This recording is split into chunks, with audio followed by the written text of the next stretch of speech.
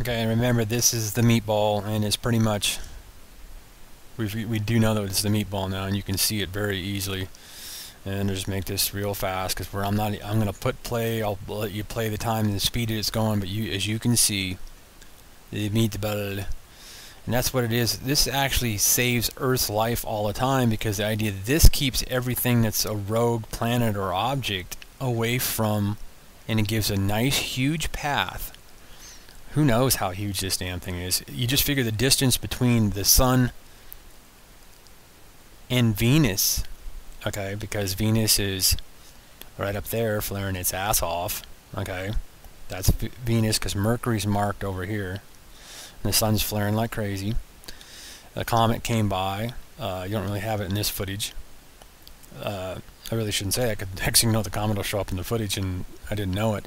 But I just froze it real fast for the meatball. As you can see the meatball, it's not really energy off the supergiants like I was kind of wondering if it was. It uh, Now, the stuff that we're seeing on uh, from the core, then it shows this coming in, but we do know that this is part of the sun and the electrical magnification of our solar system. This object is one of possibly two, okay? Because the physicist for NASA that passed away said that there was three suns in our solar system, okay? Now, is there one, is that the third one smaller than this? Who knows? The electrical energy what you'll see off of this and what you've seen what I've already posted tonight shows the electrical energy popping off this thing, you know, like a wave hitting the shore of Earth mass, okay, on Earth, okay? That's electrical energy. It's not flames. It is heat. It's electrical static through the through the uh, through space. This is space weather. Okay, but this thing is not just an energy wave. This is the meatball, one of the meatballs. Okay. Uh, so I've showed you pictures of it before. I'm not sure if it's the exact same one. The picture that I showed you before is of a huge meatball that looks like it's had hu two huge meatballs hit its hugeness, which is huger than those two meatballs. I've showed you that, and I'll show you that footage again tomorrow because I'll make another video showing this. But I was able to get the 17th to pop up. Then so we'll play this movie now, and that's basically Venus up there doing that action. And remember, you got Mercury over here, and it's listed. Okay, so what we'll do is we will pop down in size. Or actually, we'll, we'll just hit play on this, and then go up and down a little bit. But I want to hurry up, try to save this thing to it so it loads fast. And there's it. Now, we got it going backwards, okay? But basically, uh, I got to make sure we're going, yeah, that's how it comes in actually, okay? Earth's safe because Earth is all the way over to the right, you see. Earth is way over here past Mercury and around the front side of the sun. So you ain't got to worry about the world coming to an end. So, and this thing comes around quite often. We've seen it in Soho. Everybody that watches Soho has seen this for quite a while. So, this ain't nothing to do with the Mayan calendar and the world ending, and the, that's all bogus. And look at the time in the lower right. We ain't the world ain't ending anytime soon, and I've never even gave you guys any Mayan. You can go through all my videos. I never gave you the Mayan prophecy of the world ending or anything. Okay, so you're seeing the wild, and the, you're actually pretty much seeing the rotation. And I showed you in the other video. At the very end, I was basically showing, the pointing at Venus way up there from the Earth, showing you the Earth shot, and you can see there. Now I'm not sure on the. You have to basically. I'll I'll try to find. I'll put it all together.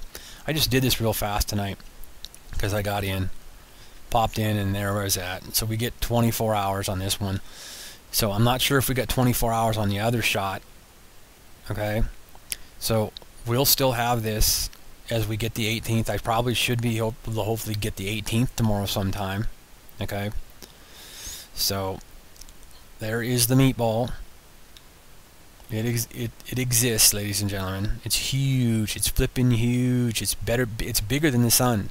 Okay and basically all those stars that are down there you, you say well why doesn't it hit them because it's constantly went around the sun and it has this path that's why we have such huge distances between us and Venus so we will be able to with Mercury and the sun be able to get an idea how huge this thing is okay Now there is an object that's 747 times the size of the sun out there in space. Okay, that's known object. It's the biggest object they've ever found. I think they found that from the telescope looking farther away than this, but I'm not positive. But this could be a relative of it. So we'll get a size down pretty good on this damn thing pretty soon because basically we know it's up close by the sun. We've seen it there before, but we now we finally get a shot to be able to measure it off Venus at a good angle.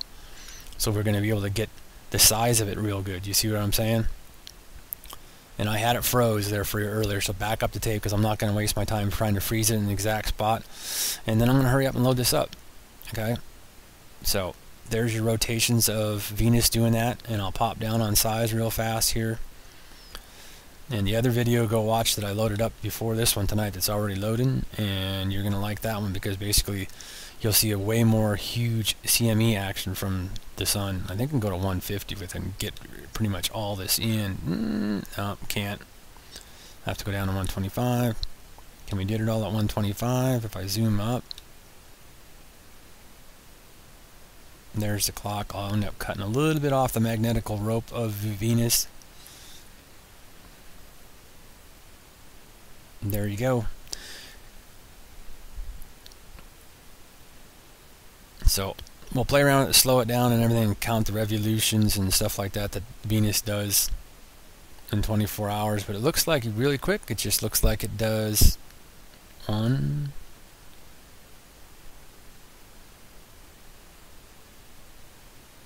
Remember, it goes clockwise. Earth goes counterclockwise. See, Venus is rotating clockwise, you see. Earth rotates counterclockwise. So basically when you've seen Earth flaring on the last video, that's pretty much the same thing. But we do it more of right at our equator. Okay? Earth does it way more at the equator. So let me get this up because this is the latest and greatest. And then we'll have the blue shots too that we'll take a look at.